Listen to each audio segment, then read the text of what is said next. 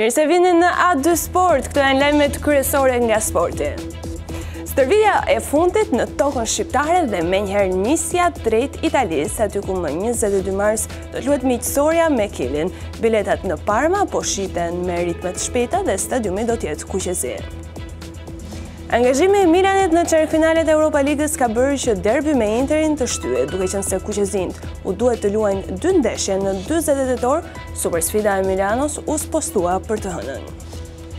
Gjykata e Barcelonës vendosi të lironte kundrejt një milion euro garanci Dani Alves. Futbollisti i cili ndodhej prej një viti pas hekurave ishte dënuar me 4 vite e gjysmë burg për akuzën e përdhunimit. Me grupin e plotë në dispozicion dhe duke vëzhguar me kujdes të gjithë lojtarët, Kombëtarja shqiptare zhvilloi stërvitjen e fundit në shtëpi. Vetëm Myrto Uzuni punoi i diferencuar, por nuk duket se rrezikon ndeshjen.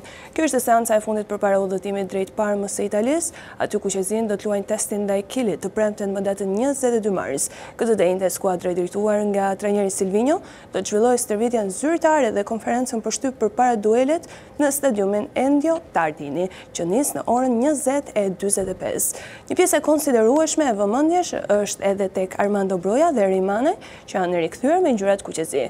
Konkurrenca në repartin sulmues është rritur edhe nga afrimi i talentit të Dinamos së Zagrebit, Arbër Hoxha.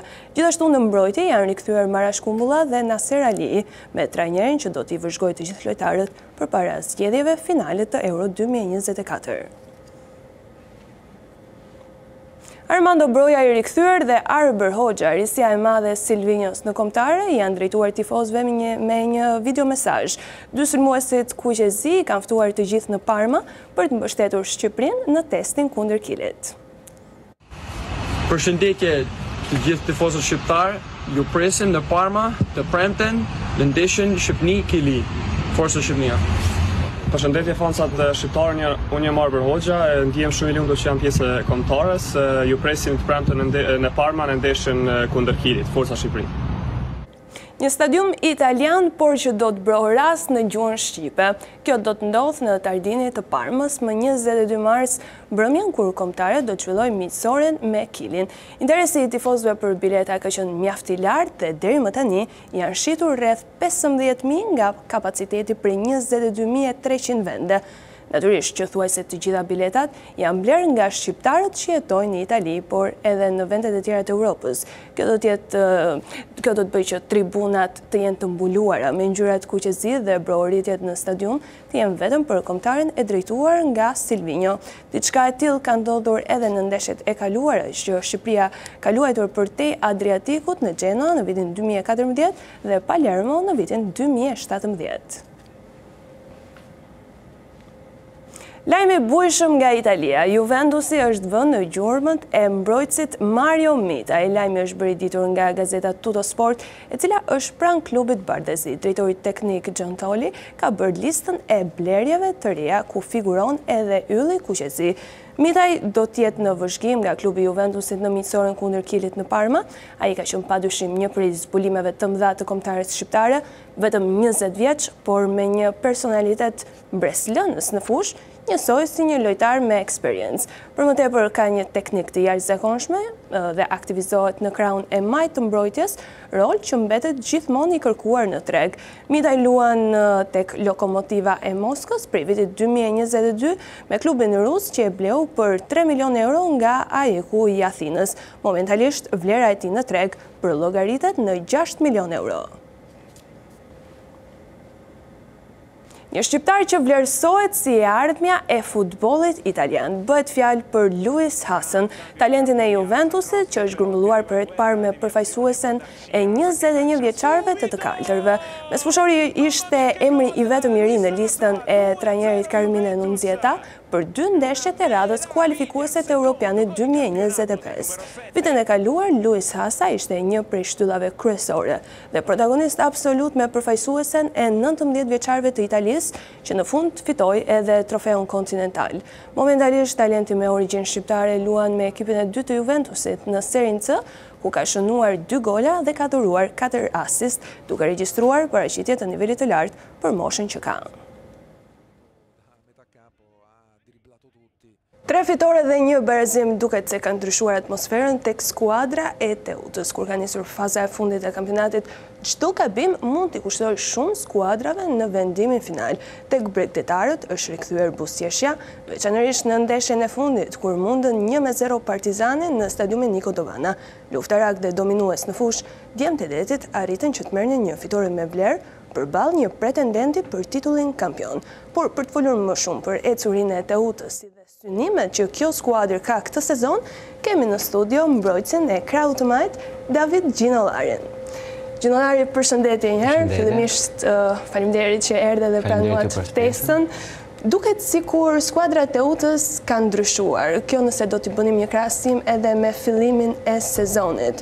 Realisht, çfarë ka ndodhur me skuadrën që po arrin të mundë dhe ekipet që kanë ambicie maksimale këtë sezon. Teuta hyn çdo ndeshje pa nuk ka rëndësi se kush rival është, hyjmë njësoj, me të njëjtat objektiva për fitoren, pasi siç e dimë edhe ky sezon nuk ka qenë shumë i lehtë për ne, nuk jemi aty ku duhet. Por me këto ndeshjet e fundit, me harmoninë, me besimin që kemi fituar si grup, Kemi po po shkojmë shumë mirë dhe besoj që kemi për të arritur akoma dhe më mirë. E thatë edhe ju në fakt harmonia, atmosfera pozitive është ajo që ju diferencon ju nga skuadrat e tjera, pasi nuk kemi dëgjuar ndonjëherë probleme tek ekipi i Teutës, të paktën probleme brenda klubit po them, apo qoftë edhe uh, humbjen e jeni sërish së bashku, edhe fitoren e festoni po njësoj, a është kjo ajo që ju veçon ju nga skuadrat e tjera? Besoj që është një armë shumë e shumë e fortë për ne. Kjo pa pa dyshim që është puna e presidentit një herë në rradhë të parë, korrektesa dhe besimin që na jep trajneri, stafi, grupi që pavarësisht se humbim apo fitojmë jemi Jemi gjithmonë duke inkurajuar njëri-tjetrin që të vazhdojmë përpara. Po bëni sezonin e dytë tek Teuta, megjithatë duket se ecuria në javët e fundit Teuta është zgjuar, të themi, këtë e tregon edhe pasi mundët një me zero Partizanin, a kishit hyrë në fushë vetëm për ta fituar ndeshjen apo duke parë pozitat në klasifikim, do të mjaftoheshit edhe me një rezultat tjetër të rëndë përballë Partizanit. Partizani dihet për kualitetin që ka në ekip, por ta thash, është pozicioni që kemi ne, nuk shohim nëse është Partizani apo kushdo ekip tjetër në Superligë, se të gjitha ekipet pothuajse janë në të njëjtin nivel, nuk është se ka diferencë të madhe dhe është në fushë fiton ai që jep shpirtin. Çfarë ju tha Martini pas ndeshjes, pas fitores me Partizanin? Që na përgëzoi të gjithëve dhe Nuk kishte komente të tjera. Jo, jo, vetëm Dhe na kjo përgëzoi. në fakt ë, bën edhe diferencën tek Teuta pasi gjithmonë është me këmbë në tokë edhe merr ë, ndeshjet e radhës. Kjo është edhe sfida Ajo është, më e rëndësishme. bregdetarëve. David, kemi parë ë, që shpesh luani si mbrojtës i majtë, ndërkohë ndonjëherë trajneri Martini ju ka vendosur edhe përpara në mesfushë. Cili është roli juaj i preferuar? Roli im i preferuar është mbrojtës i majtë, por është skema e atillë që kemi ne që luajmë Ka qenë një strategji kjo e trajnerit Martini apo në ndihmë të skuadrës ka pasur nevojë? Të gjitha bashkë mund të them, edhe skema edhe si ekip na përshtatet më mirë kjo skemë edhe. Teuta mund të themi që vuan për golin, vuan për golin pasi edhe fitoret që realizon ndaj skuadrave është minimale shumica prej tyre, pra me një gol vendoset gjithçka. Është kjo problematika kryesore e Teutës? Nuk mund të them që është problematikë kryesore se nuk mund nuk ka qenë problem goli tek ne.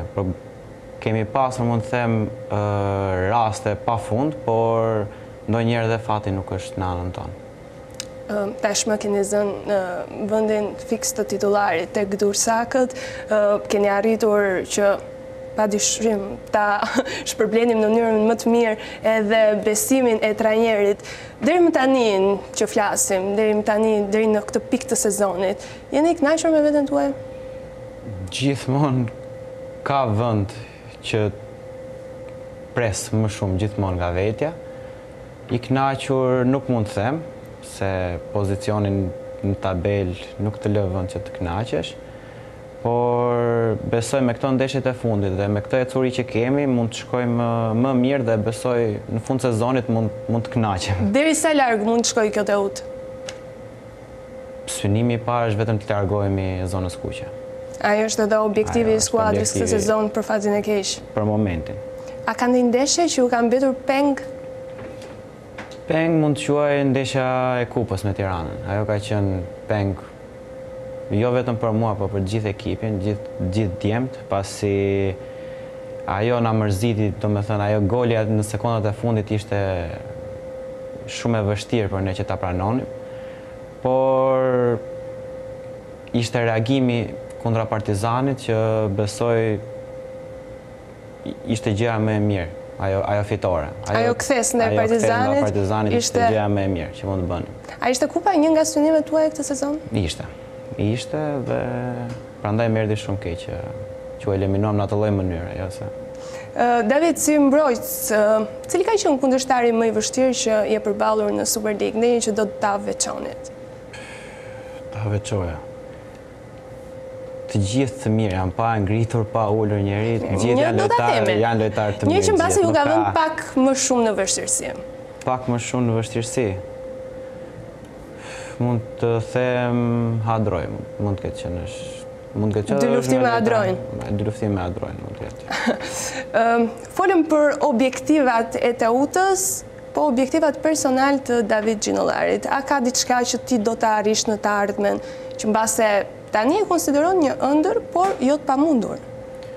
Ëndërr, ëndërr është të luaj në Champions League, të arrij dhe kombëtaren, por ta thashë, për momentin synimet janë vetëm të japim qind për qind në çdo ndeshje që kemi dhe gjëra të mira besoj vijnë. Unë di që idhull ke edhe Teo Hernandez, jemi drejt asaj rruge. Një nga, një nga ata idhuj. David, sigurisht me Teutën ke përmbushur në mënyrën më të mirë misionin tënd si mbrojtës, gjithmonë luftarak, nuk dorëzoheni në fushë. Edhe këtë e tregoni më së miri në çdo ndeshje duke shpërblyer më së miri edhe trajnerin, besimin e trajnerit Edi Martini. Megjithatë, ku mund ta shohim Davidin në të ardhmen? Kjo është pikëpyetje edhe për mua, prandaj thashë që jap njëqind përqind çdo ndeshje, jam i fokusuar vetëm te ky sezon që Të nxjerrim mirë këtë sezon dhe në fund pastaj të shikojmë. Pas Partizanit keni një ndeshje tjetër shumë të vështirë përballë Tiranës që mbase kjo pauza edhe e kombëtares mund t'ju ndihmojë që të rifitoni pak ato fuqitë pas duelit me Demave. Çfarë presim? Mund të na bëjë mirë, por mund edhe të na dëmtojë, pasi kishim këtë euforinë e fitores, ekipi ishte i motivuar, po besoj që do jetë njësoj deri në ndeshjen me Tiranën dhe me zor e presim. A do të futet Teuta vetëm për tre pikë përballë bardhebluve dhe pse jo, mund të jetë një hakmarrje edhe për Kupën? Jo vetëm përballë bardhebluve, po përballë çdo ekipi, Teuta futet vetëm për tre pikë. Ju tremb fakti që do të luani në kryeqytet tek Arena Kombëtare edhe tifozët Bardheblu do të jenë të shumtë, pasi momentin që Tirana ndodhet ka më shumë nevojë për ta. Nuk na tremb, më shumë na kënaq që do luajmë në atë stadium, që na lejon të japim akoma dhe më shumë nga vetja. David, jo vetëm Tirana, por edhe Djemtë e Detit, në ndeshje sidomos decizive janë aty për ju, në shi, në diell. A keni ju një mesazh, një premtim që mund t'i bëni për në fund sezonit? Dua thjesht t'i falenderoj për mbështetjen që i japin ekipit çdo ndeshje dhe i ftoj që të vijnë akoma dhe më shumë në stadium. Gjithë këtë sezon mund ta përmbledhim të suksesshëm për ty, po jo më i miri për Teutën. Megjithatë, a ka dikë Davidi që ia dedikon të gjithë këtë Formë të mirë që po kalon në kampionat. Çdo gjë, çdo ndeshje ia dedikoj vetëm familjes time. Ndoshta ndonjëherë jam njeri që nuk është se shprehem lehtë, por duhet t'i them që i falenderoj për çdo sakrificë që ata kanë bërë për mua dhe i dua pafund shumë. Unë të falenderoj shumë që ishe pjesë e Aty Sportit sot, shumë suksese, vetëm lajme të mira edhe, pse jo, në fund të pres sërish me të tjera suksese. Faleminderit. Mirë, ne do të shkojmë tani në një hapësirë të shkurtër publicitare për t'u rikthyer vetëm pas pak me të tjera lajme. Toni Kroos u kthye në përfaqësuesen e Gjermanisë tre vite pas tërheqjes nga arena ndërkombëtare. 34 vjeçari i Real Madridit pranoi sërish të ishte pjesë e pancerave, pasi beson se mund ta ndihmojë skuadrën gjatë Euro 2024-s që do të zhvillohet pikërisht në Gjermani. Mesfushori që numëron njëqind e gjashtë ndeshje me përfaqësuesen, ku ka fituar edhe Kupën e Botës në vitin dy mijë e katërmbëdhjetë, iu përgjigj pozitivisht ftesës së trajnerit Nagelsmann. Ai do të luajë në miqësoren e njëzet e tre marsit kundër Francës. Rikthimi i Kroos lidhet edhe me momentin e vështirë që po kalon Gjermania, ku largimi i disa senatorëve nuk është zëvendësuar si duhet nga prurjet e reja. Si vend organizator, Gjermania luan ndeshjen e parë të Euro dy mijë e njëzet e katër-s kundër Skocisë më katërmbëdhjetë qershor, teksa rivalë të tjerë në grupin A janë dhe Hungaria dhe Zvicra. Geht's darum, Kur trajneri më kontaktoi për të parë nëse dëshiroja të luaja në Europian, pyetja më e rëndësishme që i bëra vetes ishte nëse mund ta ndihmoja Gjermaninë. Përgjigja ishte po, edhe trajneri beson se mund t'i shërbej ekipit. Rikthehem në përfaqësuese mbi të gjitha prej paraqitjeve të mia te Reali i Madridit. Dëshiroj të jap kontribut që Gjermania të paraqitet sa më mirë në këtë aktivitet të cilin e luajmë në shtëpi. Në eventet e fundit nuk kemi qenë shumë të suksesshëm, por shpresojmë që tani do të kalojmë fazën e grupeve dhe të shkojmë sa më larg në Europian. Rikthimi i Thibaut Courtois në fushë duket se duhet të presë akoma. Portieri i Real Madridit ka pësuar një tjetër dëmtim në seancën stërvitore të së martës. Nga komunikata zyrtare e klubit madrilen, belgu ka çarë meniskun në gjurin e djathtë dhe ende nuk dihet se për sa kohë do të qëndrojë jashtë fushës së blertë. Futbollisti ishte afër rikuperimit nga një dëmtim që ai pësoi verën e vitit të kaluar me këputjen e ligamentit të gjurit të majtë. Fati nuk është me gardianin belg që tani duhet të presë minimumi edhe dy muaj të tjerë duke përjashtuar edhe rikthimin e Courtois këtë sezon.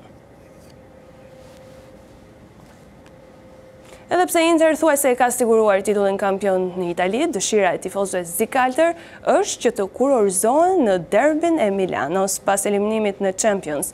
Interistët kanë vetëm një skenar, të festojnë yllin e dytë në fanellë përballë rivalëve të përjetshëm të Milanit. Së fundmi, Federata Italiane mori vendimin se ndeshja Milan-Inter, e programuar që të luhet më njëzet e një prill, do të luhet një ditë më pas të hënën e njëzet e dy prillit. Kjo për arsye që Milani të jetë edhe më i freskët për ndeshjen e kthimit në Europa League. Në momentin që flasim, ekipit të Inzaghi-t i duhen vetëm trembëdhjetë pikë në total. Si Milani apo Juventusi, të dyja skuadrat duken të dorëzuara përballë gjigantëve zikaltër, por a do të vendoset ylli i dytë në fanellë në derbin e Milanos? Kjo mbetet për t'u parë.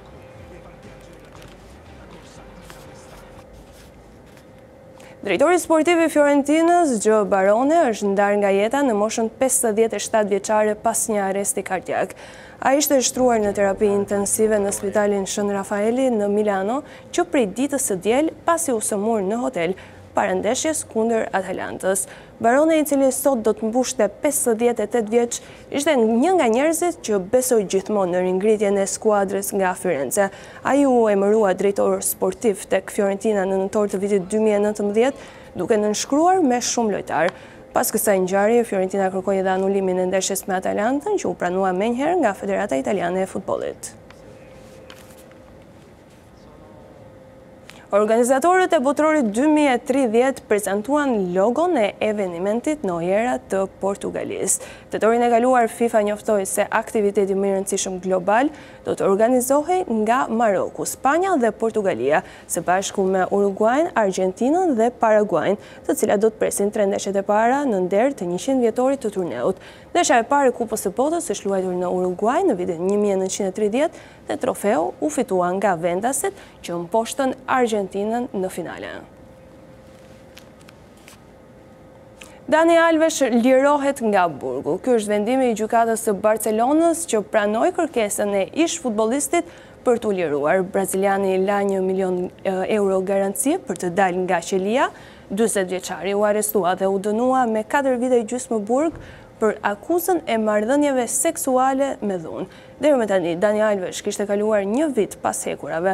Ai dorëzoi pasaportën spanjolle dhe atë braziliane te autoritetet, duke pranuar të qëndronte vetëm në territorin e Spanjës, teksa duhet të paraqitej çdo javë në gjykatë. Ish-futbollisti duhet të qëndrojë gjithashtu një kilometër larg viktimës së tij, shtëpisë, zyrave të punës apo vendeve që vajza frekuenton rregullisht. Prokurorët kërkuan dënim me nëntë vite burg, ndërsa avokatët e vajzës së dhunuar kanë tre ditë kohë ta apelojnë vendimin e gjykatës për lirimin e Dani Alvesh.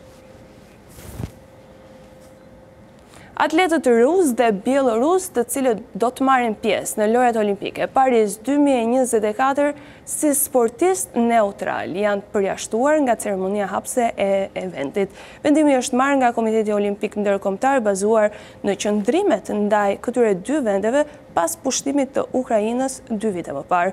Ceremonia hapëse në Paris nuk do të zhvillohet në stadion, por parakalimi i sportistëve do të realizohet mbi varka në lumin e Senës përpara treqind mijë spektatorëve.